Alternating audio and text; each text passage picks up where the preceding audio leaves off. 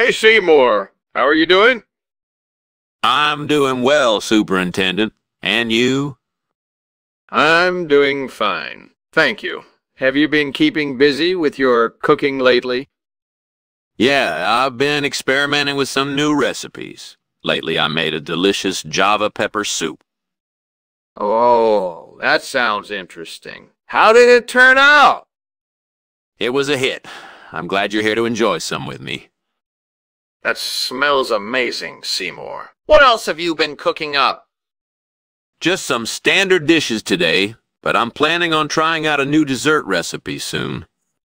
Sounds delicious. I always admire your culinary skills. Here you go, Superintendent. I made a chocolate lava cake with vanilla ice cream. Wow, this is incredible. You really do have a gift for cooking. Thank you. I appreciate the compliment. So, how have things been going at the district office?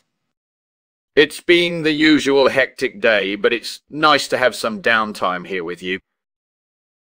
This burnt Java pepper is ridiculous. Why did Huitzilopochtli, god of war, sun, and sacrifice, let this happen? This is ridiculous. I can't believe this burnt Java pepper is ruining my day. Huitzilopochtli, where are you? Why aren't you doing something about this? I refuse to accept this. There has to be something I can do. Maybe if I try a different cooking method or use a different brand of Java pepper, things will turn out better. I won't give up.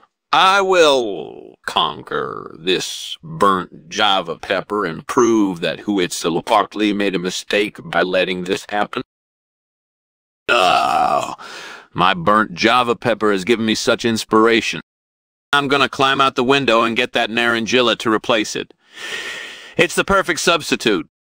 It's just a few feet away. I can easily grab it and be back in no time. Damn it.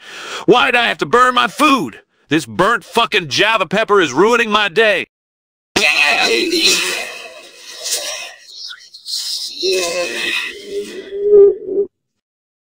Okay, time to grab my climbing gear and get out that window. I'll be back in a flash with our new ingredient. Why did I even try cooking in the first place? My burnt food is always causing me problems.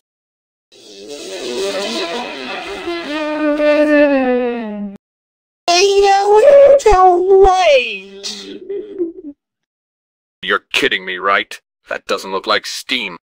Ew. Seriously.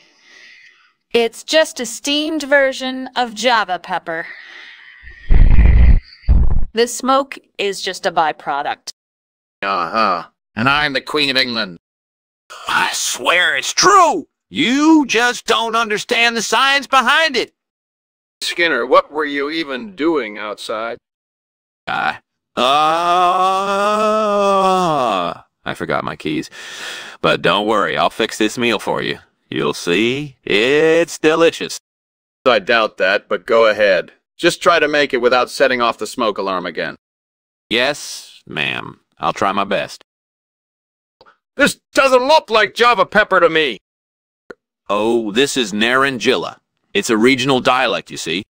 That doesn't make any sense. I know what Java pepper looks like. I prepared this myself. I know what I'm doing. You're lying. What's really going on here? Just, just trust me. It's good, isn't it? I don't think so. Please, just try it. You'll see how delicious it is. I don't know. Something just doesn't feel right. I told you, I prepared this myself. I know what I'm doing. You're still lying to me. Please, just trust me. I promise it's good. I don't know. Something just doesn't feel right.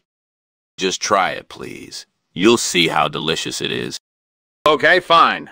But if this isn't Java pepper, I'm not paying for it. I told you, it's Naranjilla. It's a regional dialect, you see. That's not what I signed up for. Please, just trust me. It's good, isn't it? Hey, what's going on with the kitchen? Oh, it's just an ice shove. Don't worry about it. An ice shove. How could that happen localized in the kitchen? I don't know, maybe it was a freak accident. Can we please not make a big deal out of this? I want to see for myself. You can't just dismiss this as an ice shove.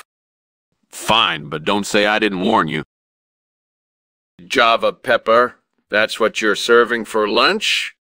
Yeah, man. It's actually really good. You just need to acquire the taste. Right, okay. And I'm sure your house burning is just an ice shove, too. What are you talking about? My house is fine. It's just a little cold in there. Yeah, sure. Well, I'm gonna head out now. Take care of that ice shove.